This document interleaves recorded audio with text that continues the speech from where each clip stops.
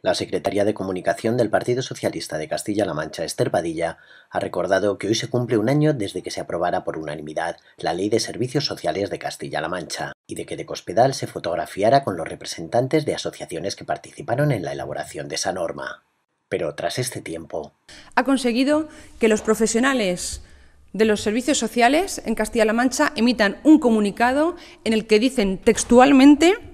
que estamos viviendo el exterminio del sistema público de servicios sociales. Por otra parte, Padilla ha denunciado un nuevo recorte del gobierno del Partido Popular, la supresión de las oficinas de mediación y atención intercultural, un servicio que se encarga de trabajar para conseguir una mayor y mejor integración de las personas inmigrantes o de las minorías étnicas con la población. Esta supresión va a suponer supone concretamente el despido de 86 técnicos en la región que están llevando a cabo una labor importantísima de mediación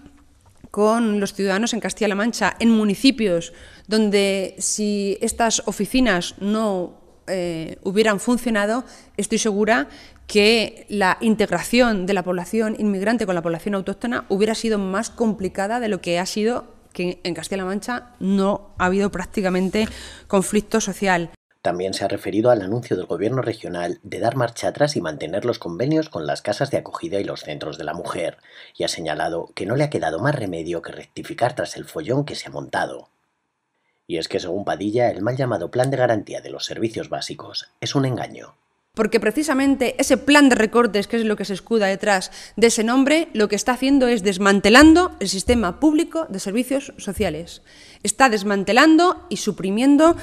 eh, servicios sociales que son básicos para los ciudadanos y que son especialmente básicos para las personas que más lo necesitan.